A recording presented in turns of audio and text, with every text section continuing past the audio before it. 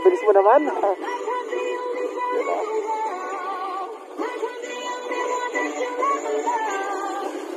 Ayan. Nakarecord tayo.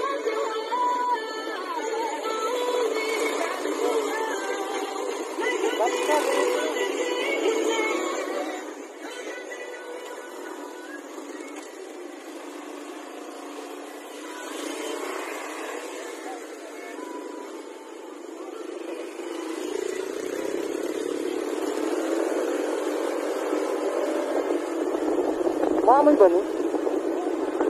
Ngayon?